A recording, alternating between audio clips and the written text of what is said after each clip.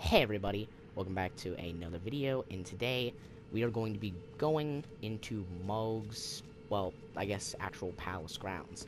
So in the last video, as you know, we, in the last video slash guide, we went ahead and got to Mohgwyn Palace grounds. Now I know what you're thinking. You don't even have 50 Vigor, you have Knight's Armor, and although your weapon's pretty good, you don't even have enough flasks, seeing as I have to use three flasks just for his, well, one attack he does. Since, for people who haven't seen the game, I won't spoil it. But, I know that you're thinking these things. And I am thinking these things as well. This will be a tough fight. However, I believe that we can endure even if the odds seem very stacked against me. And if I do have troubles, I will probably go get some things. Like his shackles, and the potion that removes his curse. But, either way, I think I have, well, let's just say, done this fight enough to know that it's kind of down to a pattern. Now, I have, yes, I have played this fight before. Before. Like, if you haven't known, I have played this game. This is not my first playthrough playthrough, or else I probably wouldn't know about this, all this stuff in Spock. But, regardless, I think that we will be able to beat Mohg with the weapon and armor we have. If not, I can always go pick up General Radahn stuff, and, you know, do it from there. So,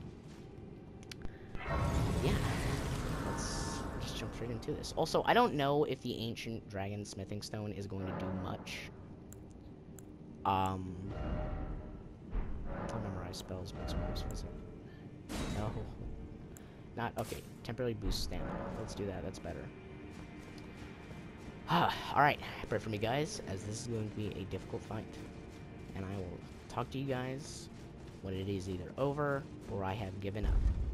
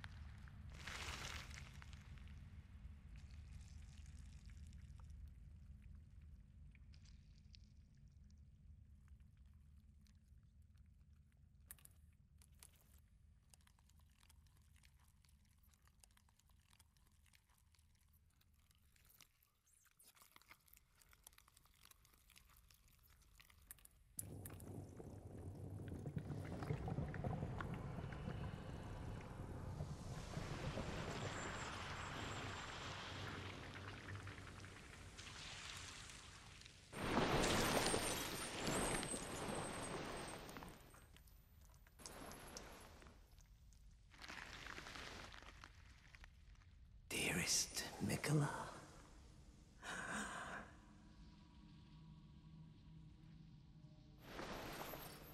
You must abide alone a while.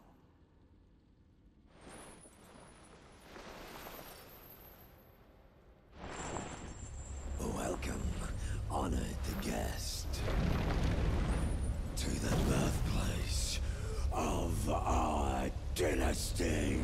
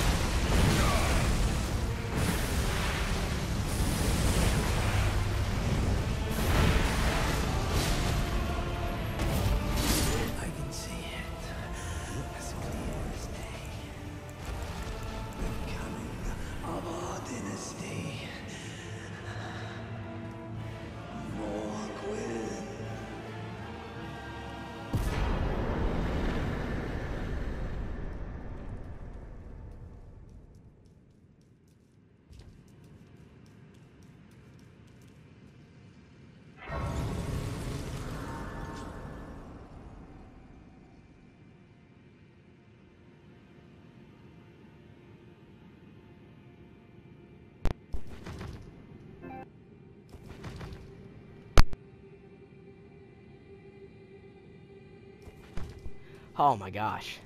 Holy guys. You have no idea how like invigorated I am right now. That was I and I knew we could do it. I knew we could beat him. Holy crap. I need to get this to 18. Intelligence is good, but I need to get my strength up. So, let's see. I, I don't know, I'll figure out the rest of the levels later, but... Holy camoli. We are able to beat Mohg, Lord of Blood, by the skin of our teeth. Second try. Oh, man. Now that, that is quite victorious. That I am feeling. I'm feeling quite good for the rest of the game. I still will get the Rivers of Blood, level it up and stuff like that. But I'm glad I didn't have to use like a super overpowered weapon like that. Well, I mean, Bloodhound's Fang is pretty OP, but it's usually just for like, used for mid-game, I guess. But, oh, I am astounded at the fact that I could do that second try.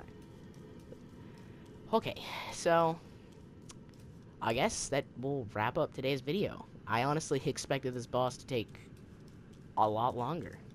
I guess the only bosses that we really have left are more of the endgame bosses.